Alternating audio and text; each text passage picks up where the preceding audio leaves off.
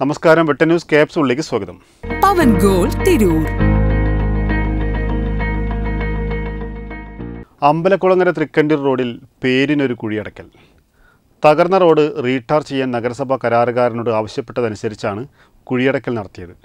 ഒരു വർഷം മുൻപാണ് ടാറിംഗ് പൂർത്തിയാക്കി ഗതാഗതത്തിനായി റോഡ് തുറന്നു കൊടുത്തത് Thayyil furniture and interior Alathiyur. പാറപ്പൊടിയും കരിങ്കൽ കഷ്ണങ്ങളും കുഴിയിലിടുക മാത്രമാണ് കരാറുകാരൻ ചെയ്തിട്ടുള്ളത്. ഇത് ടാറിങ്ങിന് മുന്നോടിയായി ചെയ്തതാണെങ്കിലും അശാസ്ത്രീയമായ രീതിയാണ് ഉപയോഗിച്ചിട്ടുള്ളതെന്നാണ് ആക്ഷേപം.